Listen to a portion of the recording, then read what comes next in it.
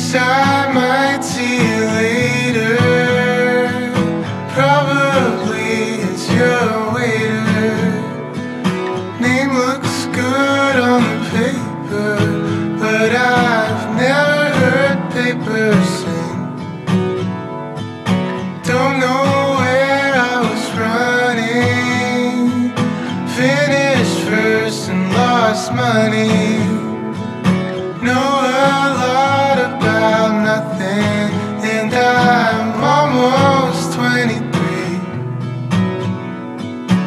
How you